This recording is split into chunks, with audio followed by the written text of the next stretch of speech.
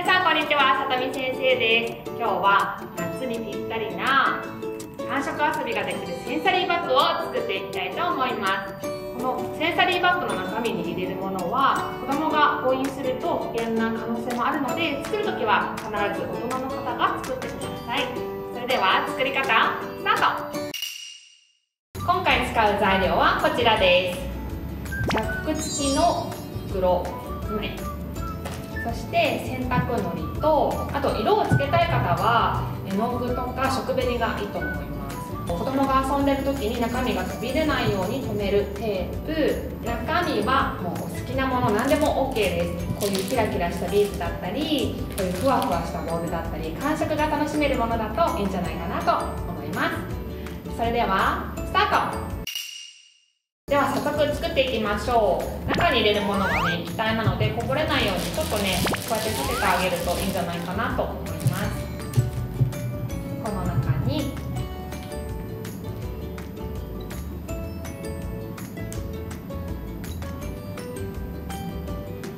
今回は色をつけていきたいなと思うのでちょっと夏らしくね青を入れていきたいと思います。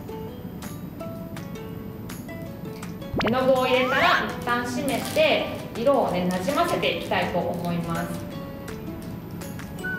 もうねこれだけでも感触遊びとしてすごい気持ちいいですよね。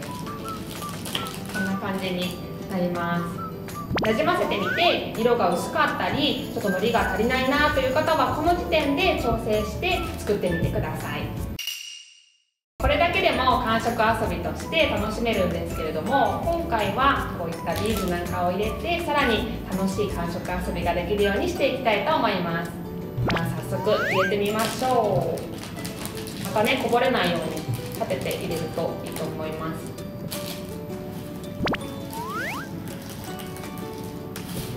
今回いろんな感触楽しみたいので硬いものとふわふわのものを一緒に混ぜて入れてみたいと思います。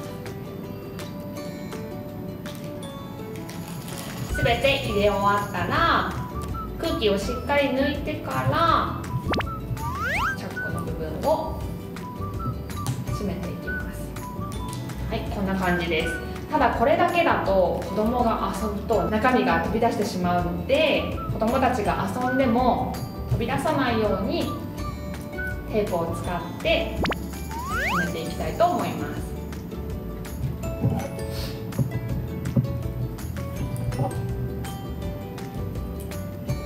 さらにテープで留めていきます。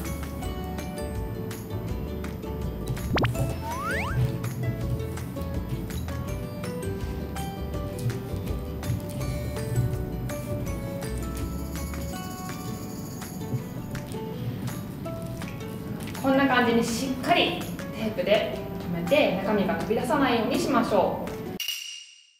これだけでも不安な方はもう1枚、用意していただいて袋を二重にするとよりいいんじゃないかなと思います。でまた空気をしっかり抜いて留めていきましょう。はいこんな感じにできました。完成です。とってもね可愛くてね気持ちいいんですよ。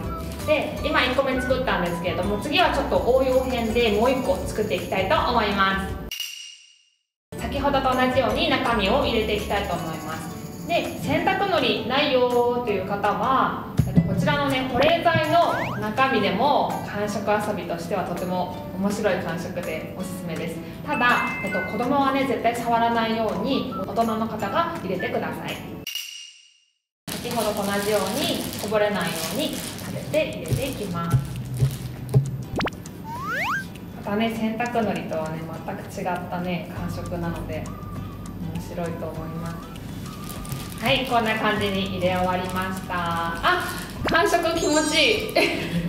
すごい気持ちいい。でまたね洗濯のりの時と違って少し弾力があるのでまた違ったね感触遊びとして最適ですね。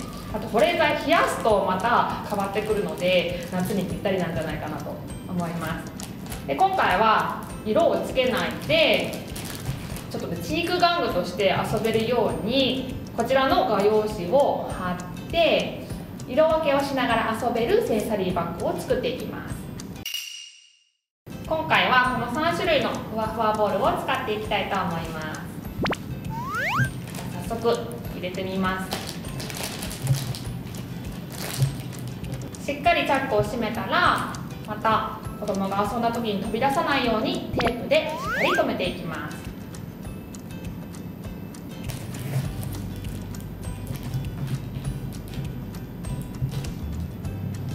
こんな感じに留まりました。今回は色分けをして遊ぶセンサリーバッグを作りたいのでこのね二重にして入れた袋の上に画用紙を貼っていきたいと思います。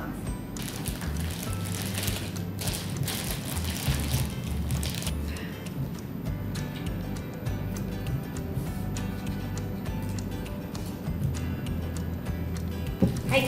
こんな感じに貼ったら完成です。